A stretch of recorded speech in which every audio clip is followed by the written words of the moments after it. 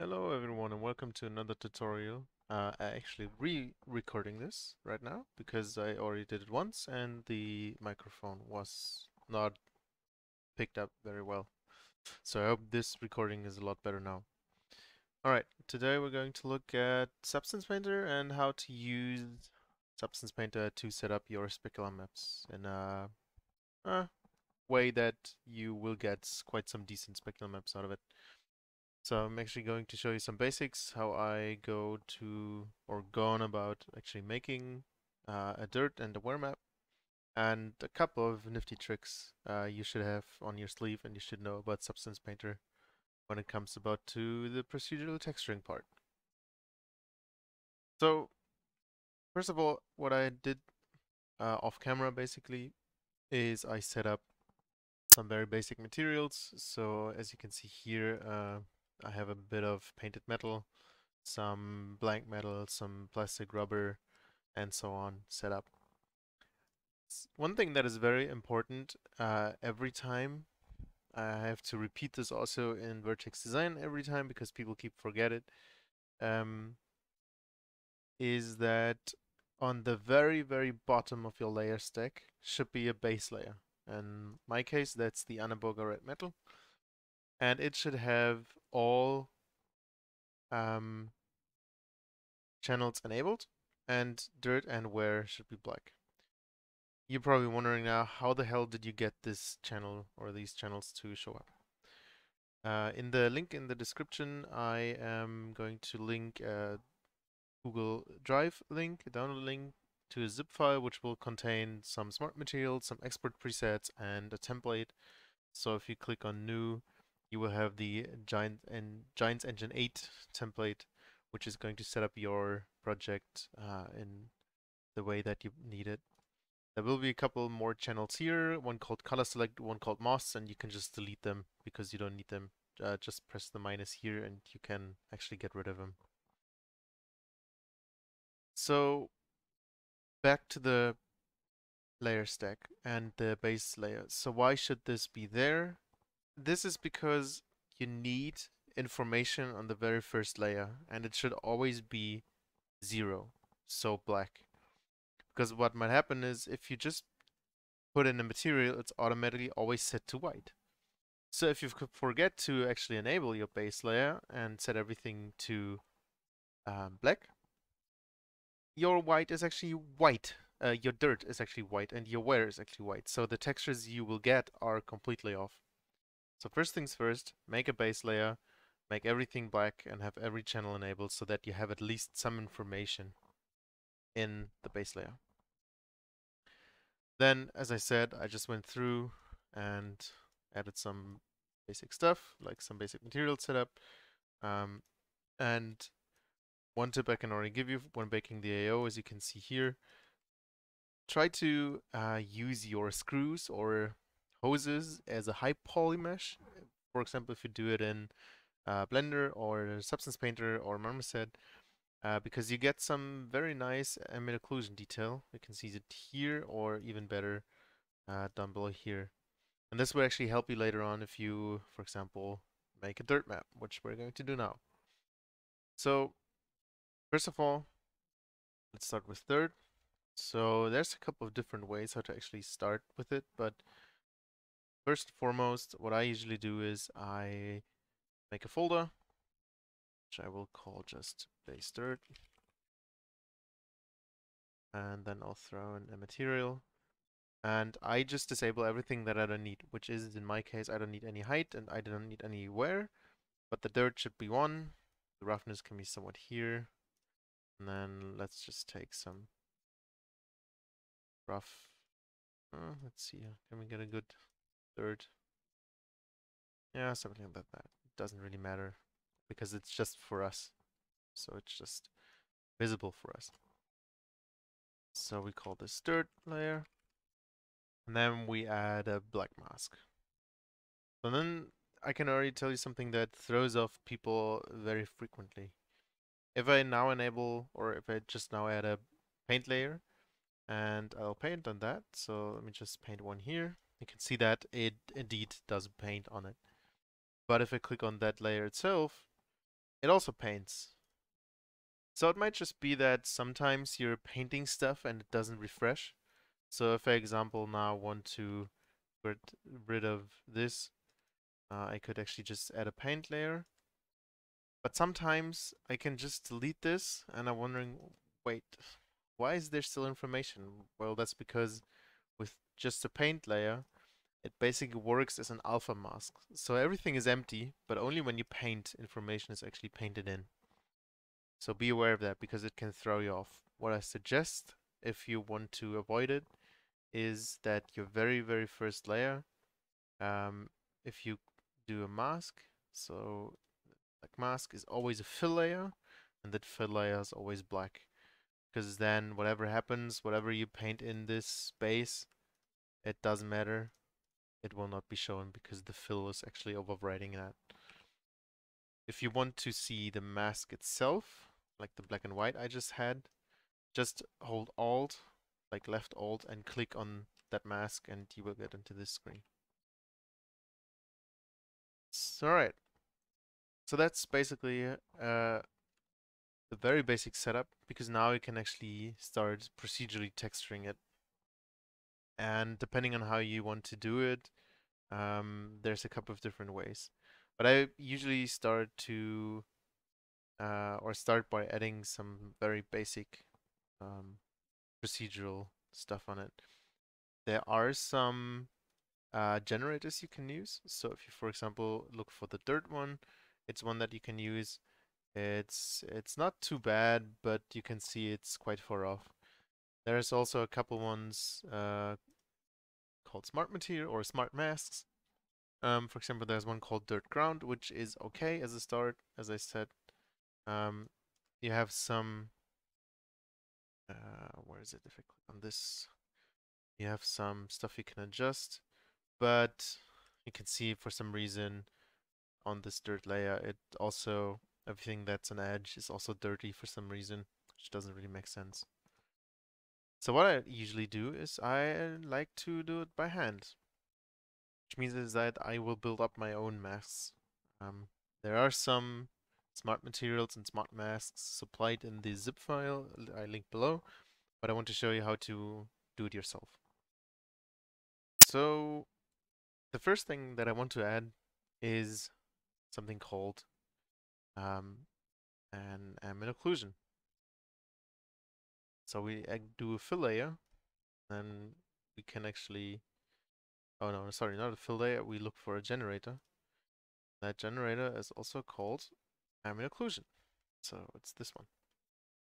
And I want the ambient occlusion because if you think about everything where there's a nook and cranny, it should be filled with um, dirt, right? So I will just work on the balance. You can see that the mask is inverted, but uh, that's not a big deal. I can just click on global invert and I can just invert it like that. Right, and now since we have the dirt map or the ambient occlusion here, um, I will actually just adjust it a tiny bit. I will not go into like great detail because I actually already finished doing this once in the run I had earlier. So I'm just going to very quickly make that happen. So now I want to actually uh, add some fill layers uh, where I will add some uh, textures that I have. So there's a couple of procedural textures. So let's just look for, um, interestingly, if you look for one called concrete, that's a good one to use because it has quite some, uh, let's call it, um, it's got some very nice structure to it that will also translate well into the dirt map. So let's add another fill layer and let's actually get another concrete one. So uh, let's get, that's this one. And I can already see something if I click in between the layers. It's there overriding. So that is because, similar to how in Photoshop, uh, they're not mixing yet because they're set to normal. Uh, you can set them to multiply, which basically evens them out or uh, eradicates them out or multiplies them out. Or if you want to add them, you can use the linear dodge, which is just an add by itself. So now we'll just play around a bit more with the values or something like this. For this as well, something like this. So it's pretty dirty now. And I would like very much to have some dirt from beneath. So everything that's facing us right now should be dirty. And I can do this with a generator called uh, world position or world space normals, not world position. And what this does is basically it checks for the direction of the normal of each face or the normal map sometimes.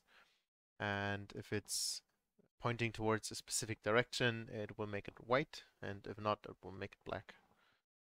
So you can see that here that I, everything that's more or less now pointing up is white, and everything that's pointing down is black. I want it inverse, so I will just make like that. And I will just adjust it to my liking, something like this. Because what I would like to do now as you can see here is that uh, everything is now pretty much white. And because I now added a lot of layers I'm actually now going to take away from some of them. So I'm going to uh, let's add some directional noise maybe. I don't know maybe not. Let's see what we have here. Um, there's a dirt map right here that we can use fill, I'm just going to multiply that, work on the levels for it again. So something like, like that. And of course it's very strong now, but as again, once again, I just want to show you how it works. Um, I'm usually suggesting in these kind of uh, instances when you want to make your own maps that you just add bit by bit and take away bit by bit. So don't just use like two or three maps, add them onto each other, and you will receive a much, much better result in the end.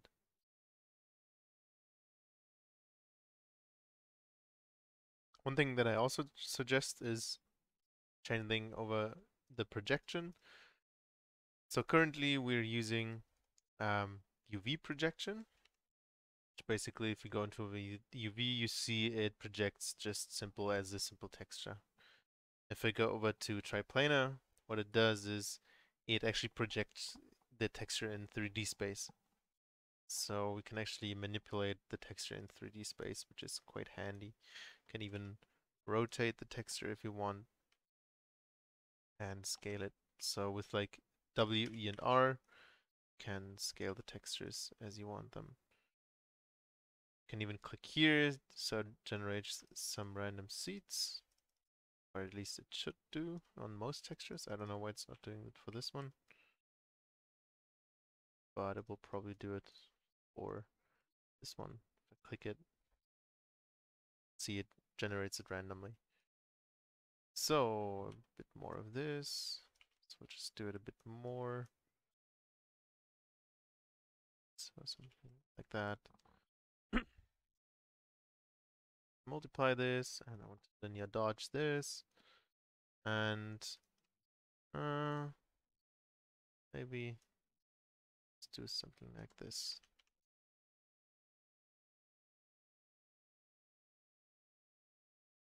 So that is quite very white of the ambient occlusion. Let's do something like this. Alright, so now you could say, oh, well, I like the result because you can always export into, uh, yeah, into giants and check the PNGs. So if you want to export, you just open the export window and you have your uh, export output template here. So you should find all of these now in your uh, in the zip file and you would most probably need either vehicle or vehicle spec which is just for the diffuse uh, for the specular map alright so another nifty trick is sometimes you want this kind of uh, dirt across all your UV sets. For example, if you make a cultivator or something, uh, you can press right click and you can instantiate that across the other texture sets, which will basically copy and paste it and you will see the results in everything. So on every texture set. You actually see that's quite a lot here, but we'll come to that in a bit. What I also like to do usually is uh, I, eh, especially for wear, uh, for dirt, because it doesn't ma make a lot of sense that a lot of this dirt is here. Maybe if the tractor is throwing a lot of mud, uh, you can put some dirt the front face, but usually there's not a lot on top or even inside. So you can actually delete that with another generator, which is called position, which takes the, um, yeah, very much basically the um, world position of that model into consideration. So if I just do this, you can see that it's already getting black and white and it just allows me to um, remove some of the dirt that I don't need. So instead of position, uh, instead of normal, I will put it to multiply and invert. And you can see that on top here, the dirt is actually gone. Can quite nicely control your whole dirt with it. It's a bit finicky if you want to get the best results. So you have to kind of play with it a bit. But you can get some really nice stuff. So I want another ambient occlusion. Which is not that strong, so I can just make like this. Just some dirt, the top parts. As, as you can see here, everything that I'm adding or that I'm removing is actually also in the other UV set because UVO2 is not something I'm controlling right now. And this is basically my the base um, dirt that I have and now I just gonna add a couple of sprinkles, uh, base dirt, sorry. So I'm just gonna look for some small dirt splotches. Uh, there's a couple ones that you can use. So these shavings are usually pretty good. Just make them triplanar again. Scale them down. Then you can just play around with size and balance to get something like so something like this and maybe something called uh, I think it's called dirt something Yeah, there is dirt 02, so we'll just add that too. It's a little bit smaller, something like that. And there we have it. That's our basic, uh, yeah, ambient or dirt. So, could now export this and actually look at this in uh, Giants. But I want to show you uh, actually adding the wear on top of it. Because there's something to keep in mind when uh, actually doing the wear. Because there's a um, couple of things that you probably should uh, be aware of when doing it. Right, so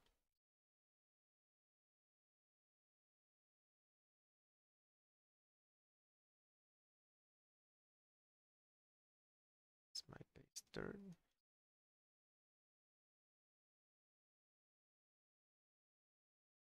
Alright, so when adding the wear, what I tend to do is two things. First of all, I don't like wear on metal parts that are blank metal, because for me that's just nonsense, right? The second thing is I like my uh, wear to actually delete the information of the dirt. And you can do that quite well in Substance Painter. So I'm first of all going to add two folders. One I'm just calling wear. The second one I just call wear mask. And inside I'll just very quickly make a material which is 100% metal. and has a bit of roughness to it. And now comes the trick actually. You leave wear at 1, but leave dirt enabled and put dirt to 0. So what this does is, you can see here, actually, it changes the dirt because it's the dirt channel. So wherever I now display wear, let me just show you very quickly. Just gonna put black mask on this and paint. So if I paint over this, for example, you can see that there is no wear anymore because the uh, no dirt anymore because the wear layer is actually deleting the dirt, which is quite handy. For example, if you make a cultivator and the tines or you have a disc blade um, and you don't want any dirt on your tines or discs, you can use this way to actually get rid of that uh, dirt on those parts. Right, so to just very quickly remove the mask again. And now I will actually go through my model and everything that is um, metal I will put in here as not being able to show the wear and I'm doing this by simply adding a white mask. I will just make this some kind of weird color that I can find very quickly. And then I'll just go through. And with the polygon fill tool which is the shortcut for I will just go through everything that is not supposed to get wear on it. So it might be helpful to just do some switcheroos if you're not, if you don't really know what pieces should be should get wear or not. So it's a bit of a of a trick to get this working. Should also not get wear. So this is rubber, this is rubber, this rubber, metal, metal. This of course, the whole braking ordeal that is all metal as well. Plastic, that's metal. That is metal as well.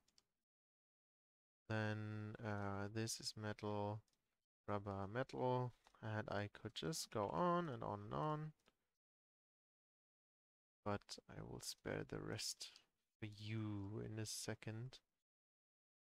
Because this is basically now how you can mask this.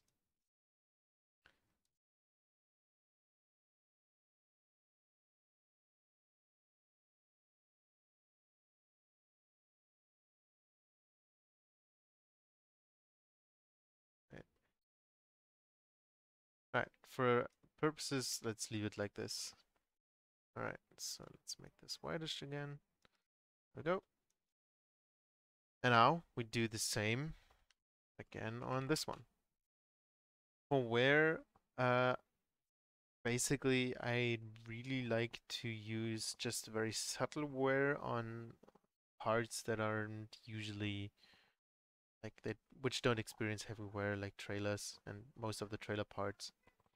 So I'm usually starting by, um, for example, a fill layer and just some, oh, we could use the shavings again because I think uh, would be quite a nice example what I want to show. Just do this, this, then maybe let's add a bit strong and don't be afraid it looks kind of iffy but my thinking behind it is that I'm now going to add a generator called curvature, which uses the curvature map or mask. And uh, I will simply increase a couple of values, or something like this. And I will put this to multiply. And now I have a very nice mask that I can use to simply start off with the first couple of bits and pieces. Um, and it's the same way as we just did before. So bit by bit, you build up your um, wear mask. There is actually um, one smart mask that is quite well when it comes to wear. Um, and I think it is called also something called edge wear. I think metal edge wear. Um, I am not quite sure if it's the one that is in here. There's one in here, or if it's one in these ones. I'm remembering. But we could just try it out, I guess.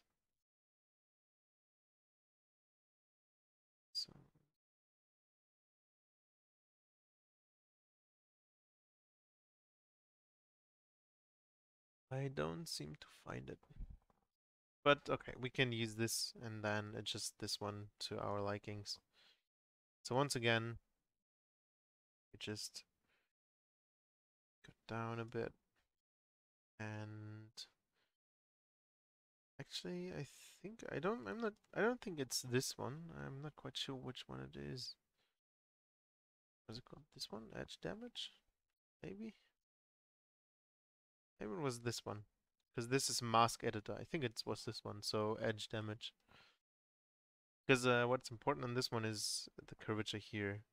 So you can actually work with the curvature a lot better on this one. So let's go into the mask again. And we can just work with this one. So if you just want a tiny bit of damage, is this one. See, the first texture and this one is actually just being multiplied on top of that. And I think the second one is the one that actually gives you the um oops, dodge.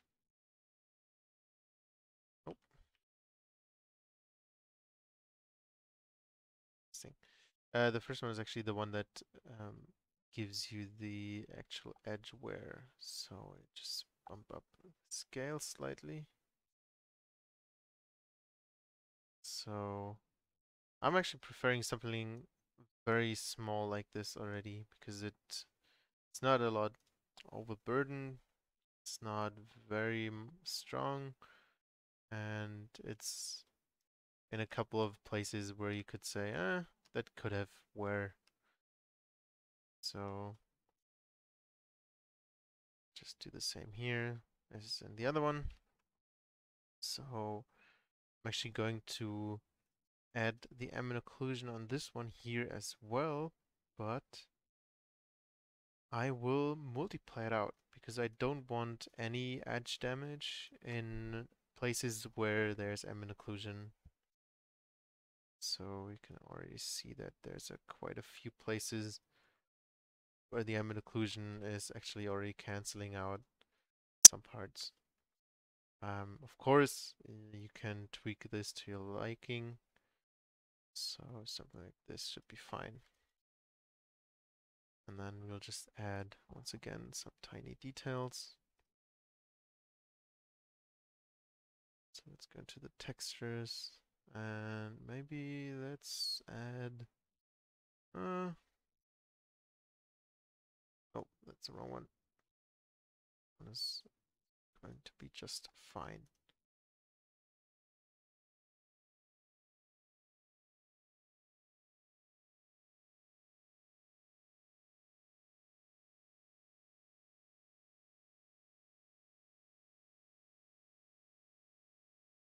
Can just maybe use some levels and then adjust your levels. Get some of the details out. Want them to.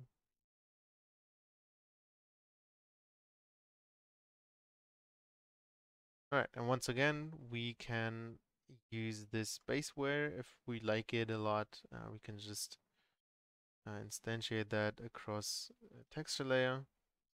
Just to the other one and here we can on the second one we can put it in its own um, folder and actually mask it out. So let's call this base baseware. And I could now set a white mask. Now say, oh, I don't really like the way here, so I will just paint it out. I'm actually not liking big pieces, so I'm just going to go into this, the dirt 2, instead of the shavings, uh, instead of that dirt specks black. Just gonna dial back on the balance on this one. Alright. So, there's a couple of tricks that uh, I can show you and I want to show you when it comes to using Substance Painter to your advantage. This kind of procedural texturing is one, and the other one is the masking, because the masking is so powerful and is so underused by a lot of people that it is indeed a shame. So I will just move this very quickly here, like a white mask. I will just remove these from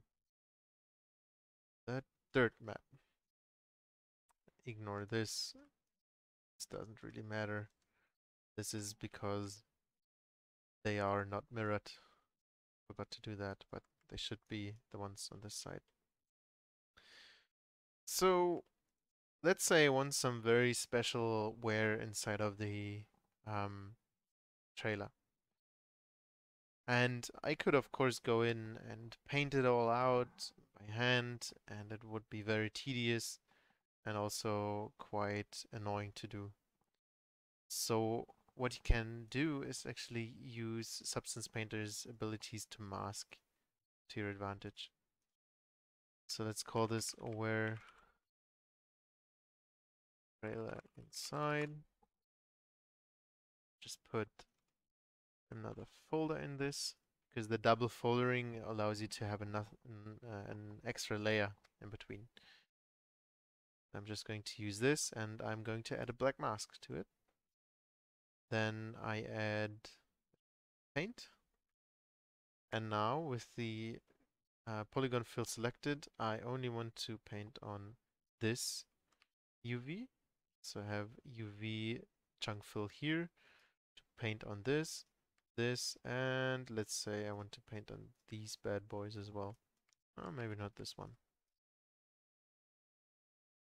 Alright, so everything I do now is basically inside of this one here. So now I want to use Substance Painter's masking abilities. So let's do this. Once again, I leave my wear at 1 and my dirt to 0, so I'm actually removing dirt while I'm making the wear. And now I'm going to add black mask and a paint layer. So in this paint layer, I could now go in and basically um, paint everything my wear in by hand, which is super tedious and wouldn't look great. But think about how a trailer works. You have stuff in here, and if you just tip the trailer, everything comes out this side, right? So everything also moves this side. So what I like to do is I would like to add some lines because it gives some direction to the wear. And you can make this so nice in Substance Painter that it's a shame that it's overlooked. So let's look for the so-called anisotropic lines. We need a fill layer. So it's these bad boys. Once again, have to make them triplanar rotate them around so they fit. And then we'll just play around with the settings as we would like it. So, once again, and then maybe some more contrast and a bit less balance or something like this. And now, instead of just leaving it like this, I'm actually setting this to multiply, and the lines will disappear. Why is that? because everything that's beneath is also black because we have not put anything in our paint layer. So now I will add another layer on top, um, which I'm just going to do maybe some directional noise. I haven't done that yet, so I want to test it out how it looks. Again, triplanar, or if you want to be quicker, you can also simply control D this one and just change it out because the settings will be kept if you duplicate stuff. So this goes to multiply as well. And now in the bottom paint layer, we can very, very simply just select a brush, get some white color going, and just, as you can see, paint the wear in that we want. Because these two will very simply just add whatever we paint in here they will just multiply, which means they will take out information and thus make themselves visible. So it's just going. Maybe let's add a bit more contrast here and maybe do this. And then let's just go. Alright, so something like that. And it will give you a very, very nice directional wear mask. Of course, whenever you do this, you really have to um, export into Giants and take a look how your um, maps look, especially if you need to convert them into DDS because the compression of PNGs into DDS will produce some artifacts and of course the shaders from Giants aren't the greatest when it comes to wear and dirt and they will also uh, play around a bit with your maps and make them probably look a bit chunkier and a bit more opaque so I would suggest make them a little less opaque so something like this would already be uh, quite good. Alright. And with this, you can actually make so many cool things, not just a wear map like this, but also dirt maps. You can make flow maps. Um, for example, let's say I want some leaking dirt somewhere, which is pretty damn cool for, um, yeah, I don't know, for like a, a slurry tanker, right? So you basically just make the same uh, as we just went about. So you have black mask. You fill this with some direction. Let's do directional dirt. Get some nice one. Let's take this one. So this one, set this one to multiply and add the paint. I can drag and drop this. And then you can just very gently paint in whatever you want to have. With the, the levels you can really make some nice leakage going on. So this is just leaking down. There you go. So all those things are basically very good tools. Um, there's still a lot I could talk about, but I'm already waffling on since 30 minutes. So I just want to show you what my final version looked like. Um, and I will be right back because I can't click that. Alright, so this is the final version of, well, more or less final. I still have to of course check in game later on and when it's converted.